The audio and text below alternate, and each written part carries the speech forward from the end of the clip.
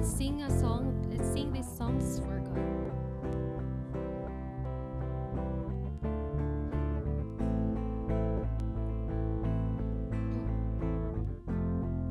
He's coming on the clouds. Kings and kingdoms will bow down. And every chain will break as broken hearts declare his praise stop the Lord.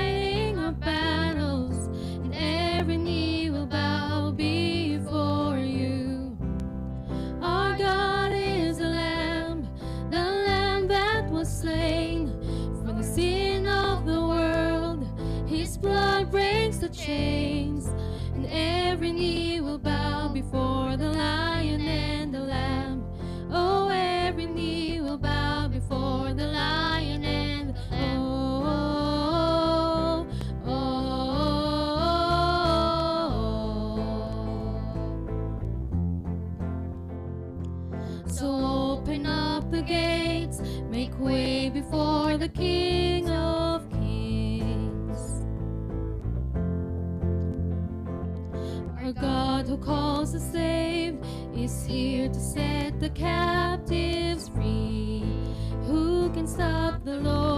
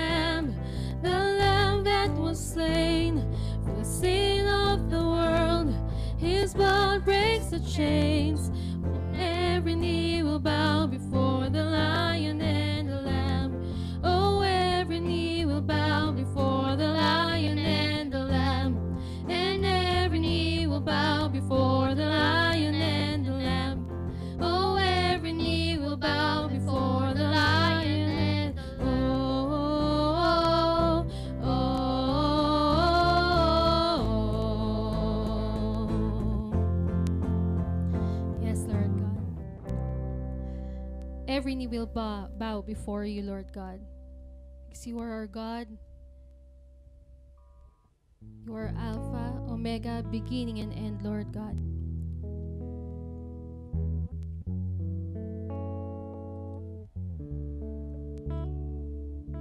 You will fight for us.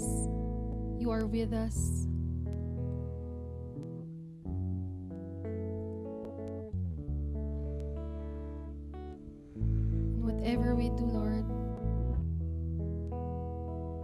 Whatever happens in life, you love us, Lord. You are there to save us. You have saved us, Lord God, from ourselves, from our sins, Lord God, from death.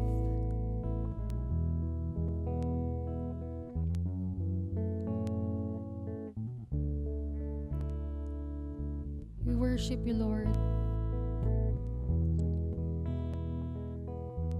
Through our voices, through our lives, Lord God.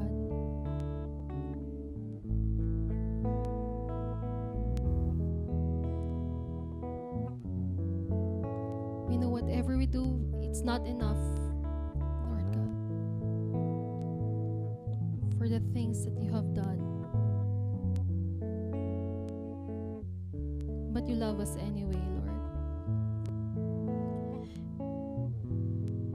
thank you, Lord, because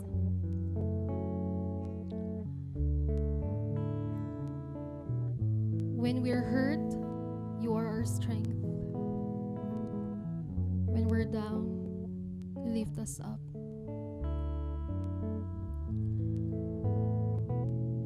When we're weak, you are still our strength, Lord God. When we are in tears,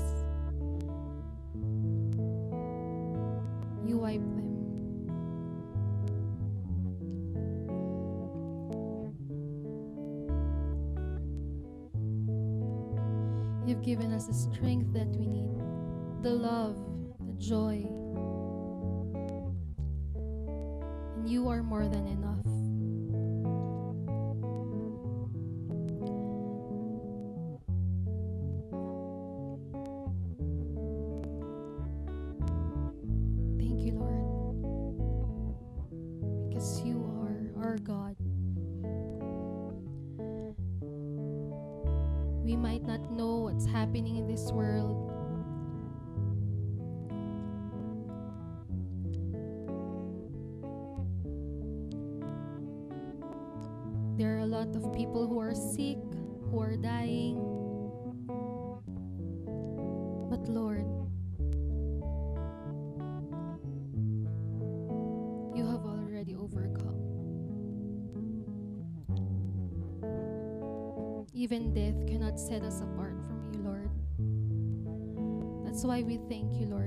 Peace.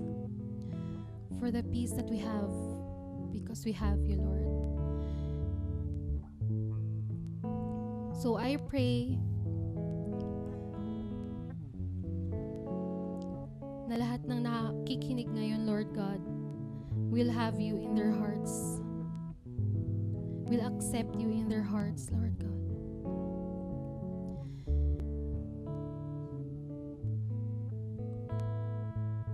So that they may we may all live, Lord God, for you for you alone, Lord. Thank you, Lord. Thank you for giving us a love like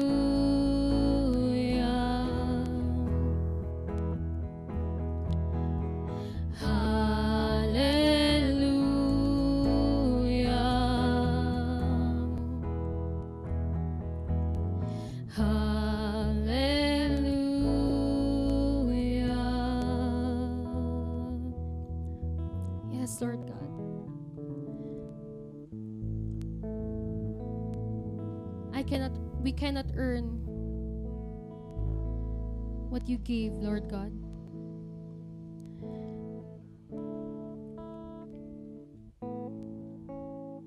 We don't deserve the love that you've given us, Lord.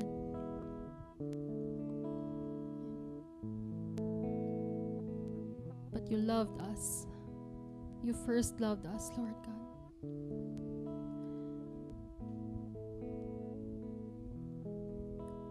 we cannot do anything, Lord, to earn whatever love you're giving us, Lord. But still, you loved us every single day, Lord. That's why we thank you for everything, Lord.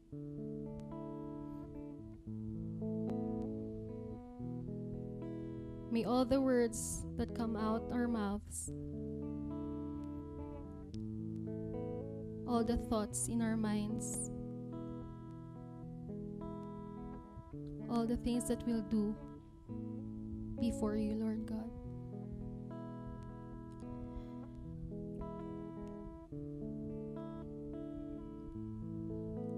Lord, sana mapapurihan namin kayo sa lahat ginagawa namin, Lord.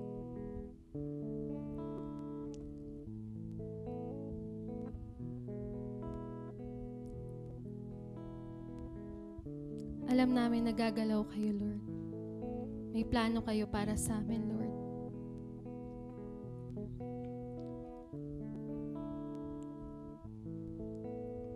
And we do. Thank you for loving us, Lord. In Jesus' name we pray. Amen.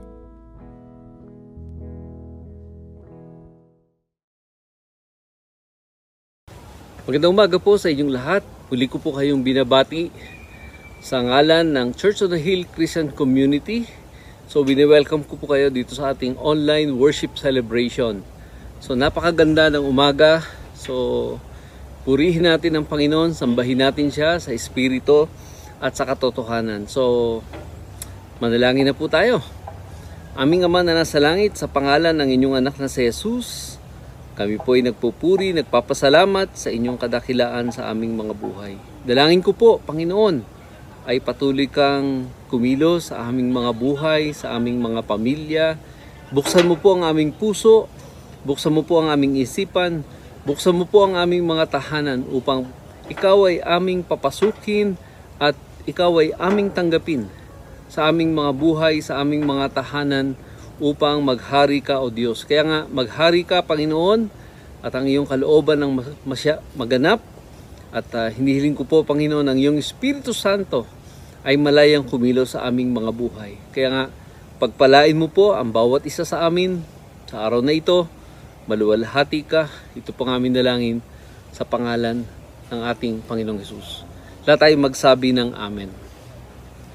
Ngayon pong umaga, I know, uh, uh, marami po sa atin ay patuloy na nangangamba dahil sa lumalala at uh, tumatagal itong pandemic natin. Ang dalangin ko sa Panginoon, pat, patuloy po tayong uh, ingatan ng Panginoon at uh, ilayo ng Panginoon sa anumang kapahamakan. So, nanganganib po ba ang inyong mga buhay? Alam ko, marami pong banta sa buhay ng bawat isa sa atin. Hindi lang po itong COVID at uh, itong karamdaman na ito ay patuloy nating uh, kinakaharap, patuloy nating uh, patuloy nating uh, nilalabanan itong COVID-19. So patuloy po tayong ingatan ng Panginoon at patuloy po tayong gabayan ng kanyang banal na presensya. Yung banal na dugo ng Panginoon ay patuloy na bumalot sa buhay ng bawat isa sa atin. Kaya so umagang ito, yung pong ating pag-uusapan ay may pamagat na deliverance in the den of dangers. Okay? Alam ko, bawat isa sa atin ay nalalagay sa panganib. Okay? Maraming banta sa ating mga buhay na kinakailangan magkaroon tayo ng deliverance. Kaya yun po yung paksa na pag-uusapan natin, deliverance in the den of dangers. Okay? In the den of dangers. Okay? So pag-uusapan po natin sa umagang ito ay mula sa Book of Daniel, chapter 6. At yun po yung pagbubulay-bulayan natin sa umaga ito. Pag-aaralan natin yung naging buhay ni Daniel at kung paano siya iniligtas ng Panginoon sa mga kapahamakan. And uh, we could we could relate to Daniel kung paano siya dineliver ng Panginoon sa mga banta sa kanyang buhay. So, ang panganib po ay maraming pinanggagalingan. So, hindi lang po yung sakit. Sometimes yung pong mga panganib ay gawa ng ibang tao. Gawa ng mga taong masasama from the wicked people. So, we are surrounded kuminsan ng mga taong iba ang takbo ng kanilang pag-iisip. Hindi natin kayang kontrolin ang kanilang mga pag-iisip. Pero yung dapat na maging response natin, yon ang pinakamahalaga sa lahat. Kaya nga mga kapatid, sa umagang ito, aalamin natin yung naging banta sa buhay ni Daniel at kung paano siya iniligtas ng ating Panginoon. So samahan po ninyo ako sa pagbubulay-bulay ng kanyang salita dito sa Daniel chapter 6. By the way, makikita po natin dito sa Daniel chapter 6, si Daniel po ay patuloy na binibigyan ng Panginoon ng ng kakayahan, no? Daniel was distinguished himself for he has a great ability. Uh, pinagpala siya ng Panginoon sa maraming bagay dahil isa po siyang gifted individual, ano? Uh, he has the great ability. Actually, sabi nga ng banal na kasulatan, he has extraordinary spirit. Can you imagine yung descriptive word na ginamit dito sa buhay ni Daniel that he has an extraordinary ability or extraordinary spirit. So, alam ko, bawat isa sa atin, kung tayo po ay pinagpala ng Panginoon, binigyan ng Panginoon ng mga natatanging kaloob, maring tayo ay masaya dahil sa binigay ng Panginoon sa buhay natin. Pero hindi lahat ng tao ay masaya doon sa nagiging performance mo. Hindi, hindi lahat ay masaya doon sa promotion mo. So may mga tao na sabihin natin na, na hindi masaya sa iyong tagumpay. So sa kalagayan po ni Daniel, ganito po yung nangyari. No? Nagkaroon ng banta sa buhay ni Daniel dahil may mga tao na hindi naging masaya sa kanyang promotion. Okay, so basahin po natin yung verse 1 to 3 mula dito sa banal na kasulatan sa Daniel chapter 6. Now sabi rito, Darius the Mede decided to divide the kingdom into 120 provinces. And he appointed a high officer to rule over each province. The king also chose Daniel and the two others as administrators to supervise the high officers and protect the king's interest. Daniel soon proved himself more capable than all the other administrators and high officers because of Daniel's great ability. Have you noticed that? Because of Daniel's great ability. And the king made plans to place him over the entire empire. So during this time, si King Darius, ang hari na po ng Medo-Persia. Okay? Now so from Babylonian Empire to Persian Empire, si Daniel po ay patuloy na uh, binibigyan ng Panginoon ng pagkakataon into high position because of his great ability. So, mula kay King Nebuchadnezzar, ngayon naman ay si King Darius of Persia. Binigyan ng pagkakataon si Daniel dahil nga po because of his great ability or extraordinary spirit. He was uh, uh, promoted by King Darius. Subalit, Verse 4, ito na po yung naging uh, problema. Sabi sa verse 4, Then the other administrators and high officers began searching for some fault in the way Daniel was handling government affairs.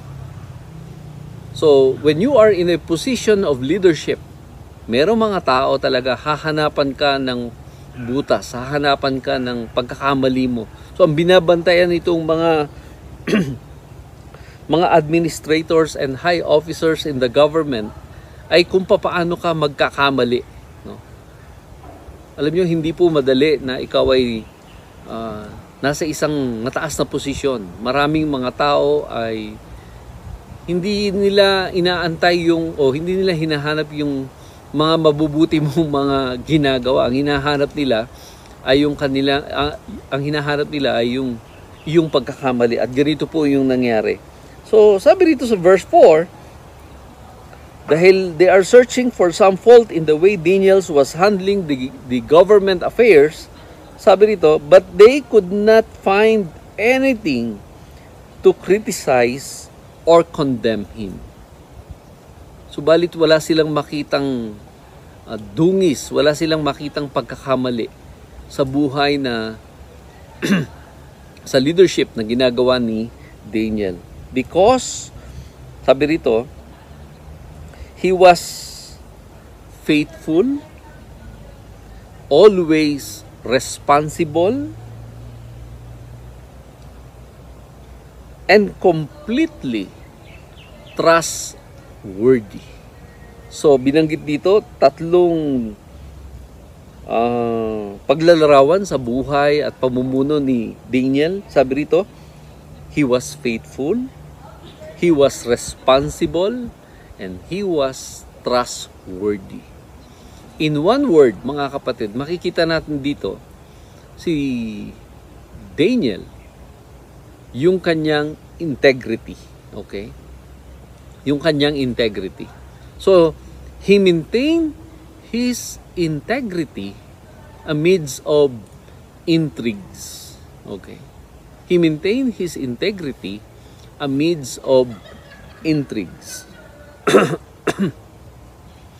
so, maintriga. Even pala nung panahon na yon ay maintriga na, mga kapatid unsong-unso na yung intriga sa sa workplace. So makikita natin no, ito ay isang uh, problema yung tinatawag na intriga. So intriga dahil maganda yung iyong performance, maganda yung iyong ginagawa. So hinahanapan ka ng tao ng butas. Kung kailan ka maaring magkamali. Sabi sa verse 5, up to verse 9. So they concluded, dahil wala silang makitang butas kay Daniel, dahil sa kanyang katapatan, dahil sa kanyang pagiging responsible sa kanyang trabaho, at dahil sa kanyang pagiging trustworthy. In other words, uh, because of his integrity, wala silang makita. So sabi sa verse 5, so they concluded that only chance of finding grounds of accusing Daniel will be in connection with the rules of his religion. So the administrators and the high officers went to the king and said, Long live the king! Long live King Darius! We are all in agreement, we, administrators, officials, high officers, advisors, and governors, that the king should make a law that will be strictly enforced. Give orders that for the next 30 days, any person who prays to anyone divine or human, except to you, your majesty, will be thrown into the den of lions. So dito makita natin nagkaroon ng conspiracy. Nagkaisa yung mga administrators, officers, high officials, advisors, and governors na gumawa ng batas na kung saan for the next 30 days, in one month, lahat ng kanyang subject ay kinakailangan na sa kanya lamang yuyuko o sa kanya lamang sasamba. Subalit uh, makikita natin mahigpit yung naging uh, banta rito na kung saan kung sino man ang hindi sa kanya lamang kay King Darius lamang uh, magpapatira pa at sasamba they will be thrown into the den of lions. So medyo mabigat po yung parusa. So capital punishment ka agad kapag hindi ka nag-bow down kay King Darius. So ito ng mga hari, medyo hindi niya ganong napag-isipan pero sabi rito, and now your your majesty issue and sign this law so it cannot be changed. An official law of the Medes and the Persians that cannot be revoked. So Daniel, also King Darius signed the law. So, si King Darius naman ay bigla na lang uh, sinang-ayunan at pinirmahan itong batas na ito. So, makikita natin yung danger no? sa buhay kagad ni Daniel na kung saan uh, may batas na i-diniklara yung hari na kailangan sa kanya lamang magbabow down ang sino man for 30 days. So parang nagkaroon ng batas para lang kay Daniel, no? Para hanapan lamang siya ng butas. Subalit makikita natin dito mga kapatid yung ikalawang katangian ni Daniel. So he maintained his intimacy amidst of intimidation. So dito makikita natin kung gaano ka-faithful, ka-responsible and trustworthy si Daniel. So ipinakita niya pa rin yung kanyang intimacy. Unang-una, intimacy with God.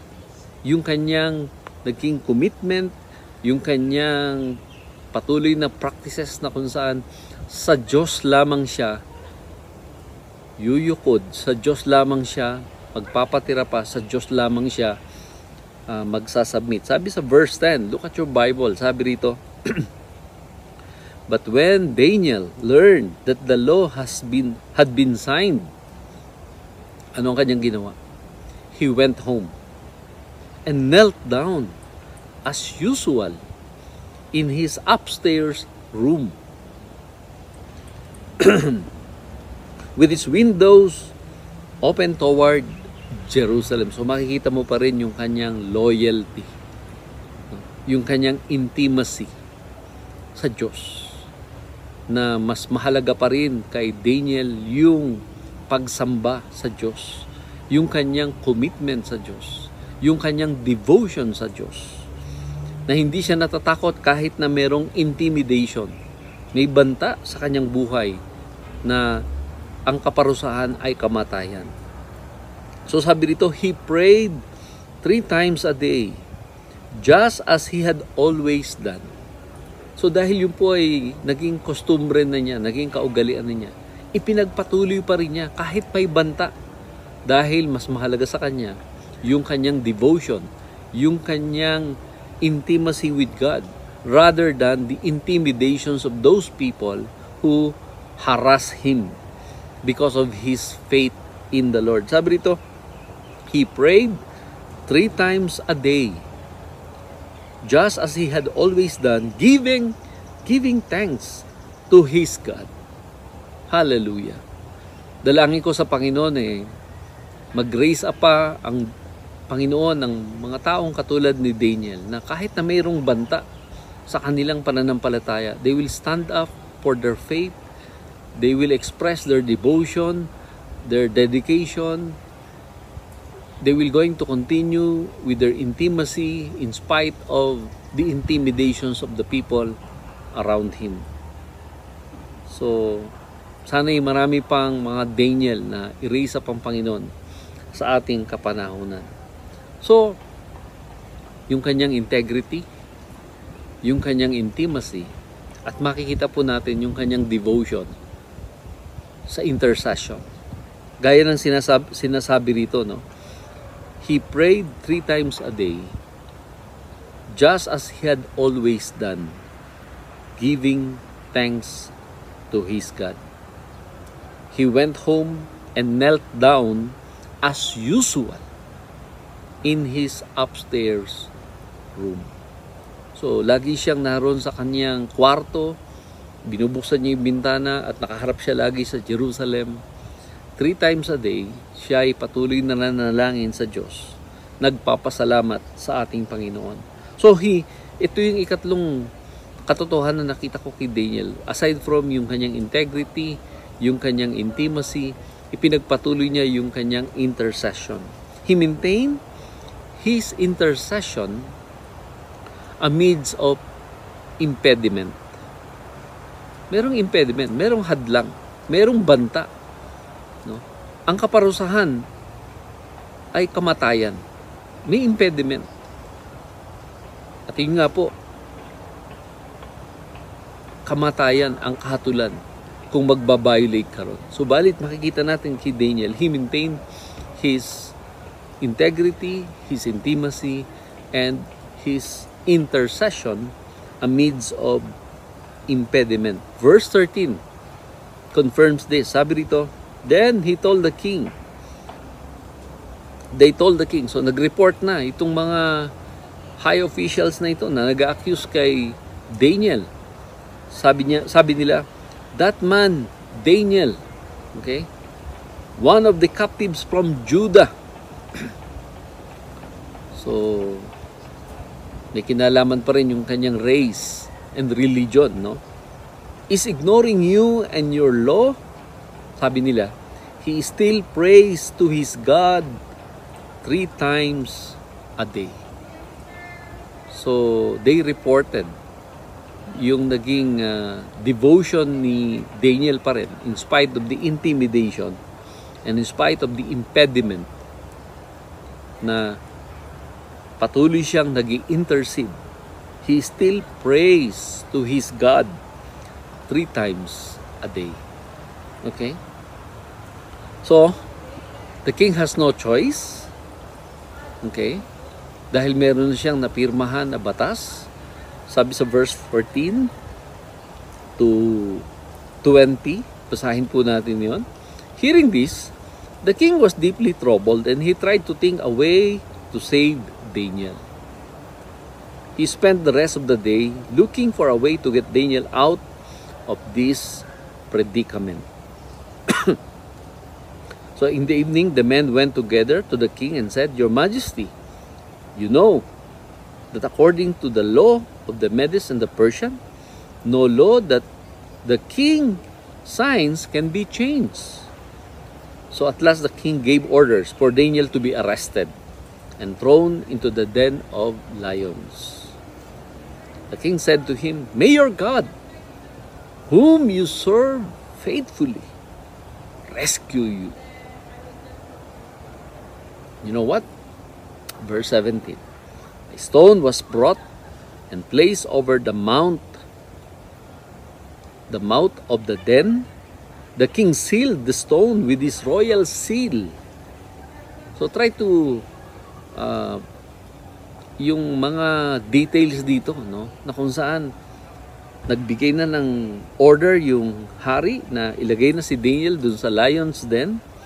At uh, yun nga po sabi rito sinelyuhan pa niya yung stone with the royal seal and the seals of his noble so that no one could rescue Daniel. So talagang sinigurado nila na si Daniel ay mapapahamak. So makikita natin yung dangers na kinakaharap ni Daniel.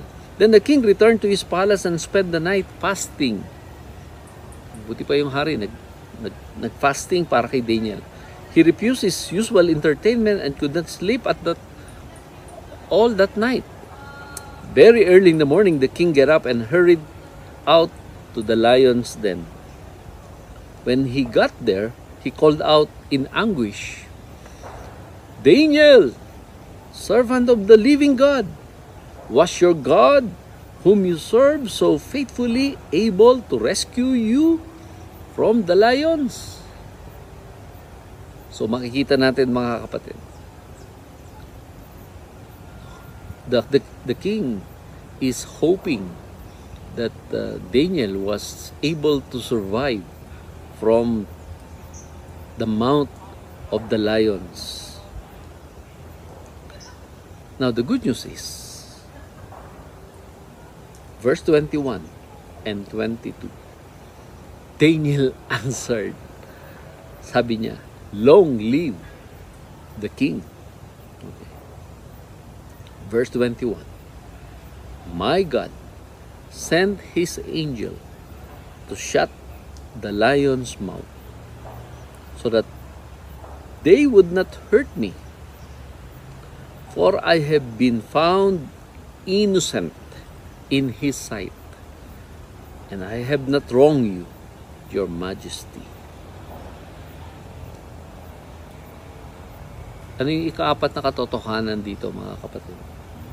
Una, uh, unang katotohanan nakita ko dito sa verse 21. Sabi niya, I have been found innocent in His sight, in God's sight and I have not wronged you. He was referring to King Darius, your majesty.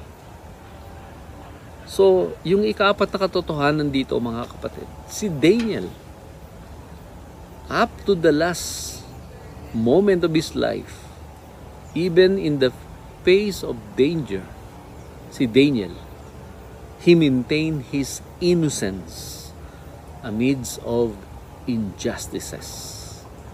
Sabi niya, I have been found innocent in His sight.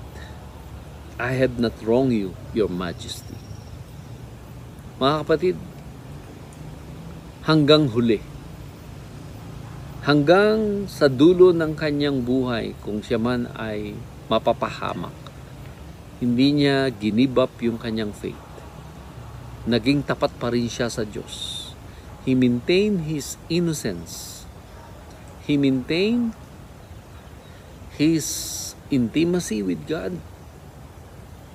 Yung kanyang intercession, ipinagpatuloy niya habang siya ay naroroon sa sa lion's den. And even yung kanyang integrity. Hindi niya ginibap yung kanyang integrity. He holds on to his integrity. He proves his innocence. Mga kapatid, labis akong humahanga kay Daniel sa kanyang naging devotion. No. So he was he was found innocent. That's why God delivers Daniel in the dens of the lion. Okay. And last but not the least, he maintained his influence amidst of impossibility. So ulitin ko lang po yung aking mga katotohanan nakita rito sa katangian ni Daniel. Number one, he maintained his integrity amidst of intrigues. Pangalawa, he maintained his intimacy amidst of intimidation. Pangatlo, he maintained his intercession amidst of impediment. And number four, he maintained his innocence amidst of injustices. Sabi ko nga po sa inyo, ikalima, he maintains his influence amidst of impossibility. Nagpatotoo pa rin po siya dun sa hari. Yung kanyang buhay, sinika pa rin niya na maging isang living testimony kung sino ang Diyos sa kanyang buhay. Pakinggan po natin yung kanyang statement at yung kanyang testimony, yung kanyang ginawang pag-impluensya sa hari to convince the king that he is innocent and the king must recognize who God is. Sabi niya, My God. So ang ipinagmamalaki dito ni Daniel ay yung kanyang Diyos. No? Sabi niya, My God sent His angel to shut the lion's mouth. So the Lord or my God sent an angel. Okay. So hindi lang po ito ang unang pagkakataon na ang Diyos ay nagpadala ng kanyang mga anghel to rescue His people. So again, pinatunayan ng Diyos na si Lord ang naging deliverer ni Daniel. So my God, sabi niya, sent His angel to shut the lion's mouth. And my God would not allow to hurt me. So he acknowledged that God did not allow him to suffer. So dito natin makikita, no? Ang bida pa rin dito ay ang Diyos. Ang Diyos. Ang nag-ingat kay Daniel ang Diyos ang nagpatikom sa mga bibig ng mga leon. So yung mga leon biglang umamo, ano? So that they would not hurt me. So God stopped to hurt him sa pamamagitan ng mga lions. You know, kung kayo po ay naroon sa eksenang yon, mga kapatid, ma-amaze po kayo sa ginawa ng Panginoon kay Daniel.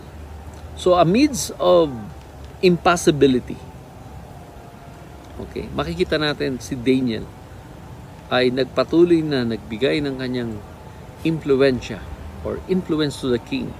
Pinatunayan niya kung sino ang Diyos sa kanyang buhay, kung ano ang ginawa ng Diyos sa kanyang buhay. So he was able to testify to the king who God is and what he has done for Daniel. Verse 23, So the king was overjoyed ordered that Daniel be lifted up from the dead. Sabi dito, not a scratch was found on him, for he had trusted in his God. Nalagay na po ba kayo sa panganib mga kapatid? Halimbawa, nagkasakit kayo. Habang kayo po ba ay nakaratay do sa banig ng karamdaman, handun kayo sa hospital bed, patuloy pa rin kayong nagtitiwala sa Diyos na ang Diyos ang patuloy na magliligtas sa inyo at wala nang iba. Yes. I have heard several testimonies. Meron tayong mga kapatiran na na-hospital. Dahil sa COVID, nalagay sa panganib ang kanilang buhay pero they just hold on to their faith. They keep on trusting the Lord for His deliverance sa kanilang mga buhay. At ngayon, sila ay nagpapatotoo sa Panginoon, sa kabutihan ng Diyos sa kanilang mga buhay. So makita natin, as a result, no? As a result, God honors Daniel's integrity. He honors Daniel's intimacy. He honors Daniel's intercession. He honors Daniel's innocence. And he honors Daniel's influence. And because of that, God delivered Daniel from the den of dangers. Okay? Yun ang naging resulta. Inonor ng Diyos yung kanyang integrity, intimacy, intercession, innocence, and influence. At dahil dito, God delivered Daniel from the dangers from the lion's mouth. Verse 19 to 21, uh, verse 25, Then King Darius sent this message to the people. No, ito na yung naging response naman and resulta. Then King Darius sent this message to the people of every race and nation and la- language throughout the world. Peace and prosperity to you. Okay? Verse 28. So Daniel prospered during the reign of Darius. Okay? And the reign of Cyrus the Persian. So, God honored God honored Daniel's integrity, intimacy, intercession, innocence, and influence. In fact, he prospered the king, prospered Daniel, meaning maintain nung king yung kanyang promotion. At hindi siya nawala sa pwesto hanggang sa panahon ni King Cyrus. So that's another story. Pero ang gusto kong bigyan ng diin dito mga kapatid, aside from God honors Daniel, no? Hindi lang si Daniel ang pinarangalan ng Diyos, kundi ang Diyos mismo ay nabigyan ng karangalan sa pangyayaring ito. So God's name was honored by the people of the entire kingdom of the Persian Empire. At ito yung naging resulta mga kapatid. God's name was honored by the people of the entire kingdom of the Medo-Persian Empire. Sabi sa verse 26 to 27. And this is amazing, mga kapatid. Can you imagine the entire kingdom recognize who God is and what He has done? Sabi rito, I decree that everyone throughout my kingdom should tremble with fear before the God of Daniel. For he is the living God, and he will endure forever. His kingdom will never be destroyed, and his rule will never end. He rescues and saves his people. He performs miraculous signs and wonders in the heavens and the earth. And He has rescued Daniel from the power of the lions. So makikita natin, mga kapatid, God is the deliverer of His people from the den of dangers. Dangers. At ang Diyos po ay hindi nagbabago. Mula noon hanggang ngayon. He continuously deliver His people from bondages, from dangers. He rescue us from a lot of troubles, a lot of injustices. Ang Diyos ay patuloy na nagliligtas sa kanyang mga bayan, sa kanyang mga tao. It is comforting to know that God has promised to protect His people. Di po ba? Very comforting po yan sa atin mga kapatid na ang Diyos ay patuloy na nag-iingat sa buhay ng bawat isa sa atin. Pinangako niya na He will going to protect His people. We are His people. We are His ecclesia. At patuloy siyang mag-iingat sa buhay ng bawat isa sa atin. We may not all be at the front lines of dangers for now, okay? But we all face an enemy who intends to to kill, to steal, and destroy.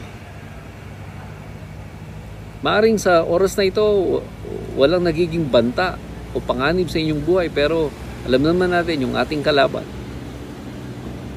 So, hindi lang yung mga wicked people, even si Satan is continuously harassing God's people.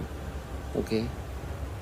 However, we must always remember our God is more powerful than the devil. He is more powerful than the lion's den, than the lion's mouth. And when we make God our refuge, we have security in Him. Hallelujah. I know as we recognize who God is and what He has done and what He can do to our lives,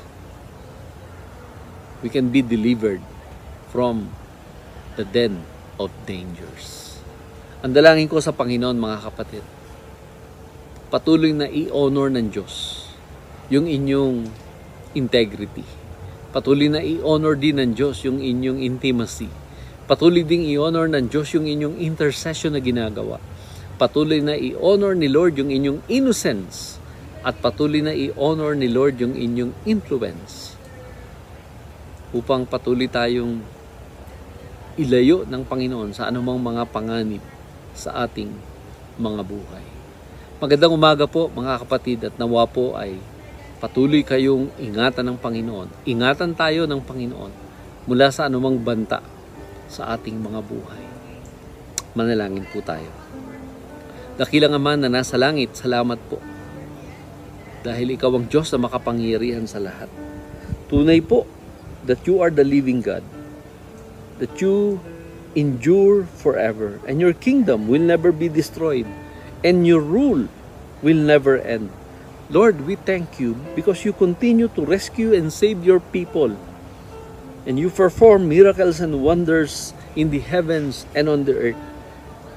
Lord, thank you for rescuing Daniel from the power of the lions. And we all, we do believe, Lord, hanggang ngayon, patuloy kang nagahari sa sanlibutan ito. Patuloy kang kumikilos, patuloy kang uh, gumagawa ng mga himala, at patuloy kang nagliligtas sa iyong mga anak sa anumang mga panganib sa aming mga buhay. So dalangin ko po, Panginoon, ang iyong patuloy na pag-iingat, patuloy mong pagpoprotect sa buhay ng bawat isa sa amin. At patuloy naming maranasan yung deliverance na nanggagaling sa iyo from the den of dangers sa aming mga buhay. Panginoon, salamat po. Indeed, Lord, we worship you, we honor you, we bless you because of who you are and what you have done and continuously doing in our lives, in our families, in our country. Salamat po, Panginoon.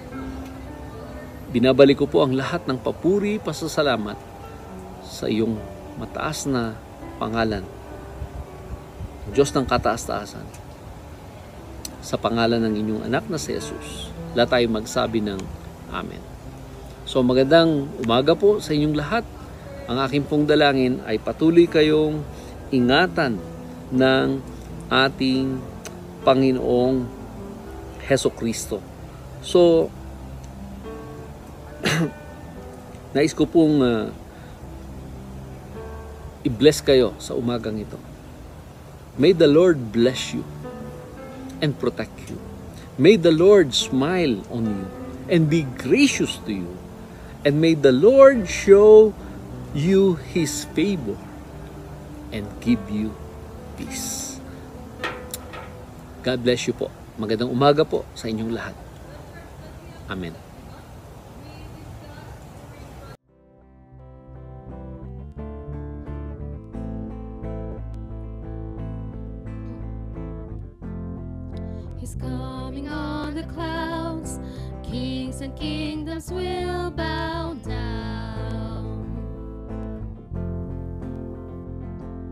and every chain will break as broken hearts declare his praise.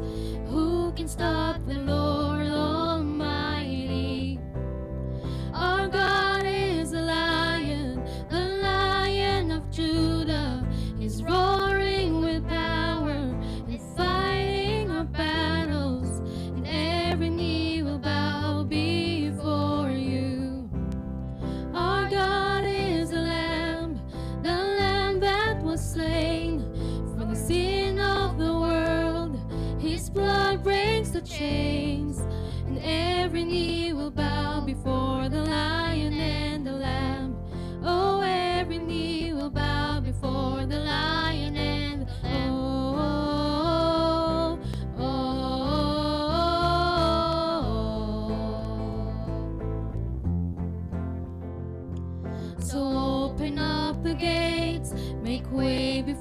the King of Kings.